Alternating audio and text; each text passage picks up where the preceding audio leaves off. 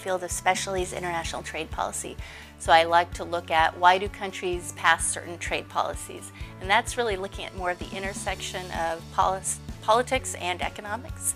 But then I also look at what impact do those trade policies have on firm decision making.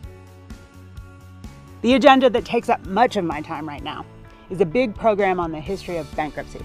I'm collecting data from the court records of thousands of bankruptcies going back to about 1900. My second research agenda is about the policies that protect abused and neglected children. I spent several years studying what incentivizes the adoption of kids from foster care.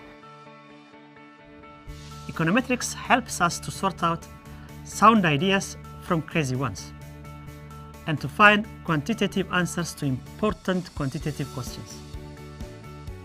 To me, economics is macroeconomics. That's the part of economics that I really love.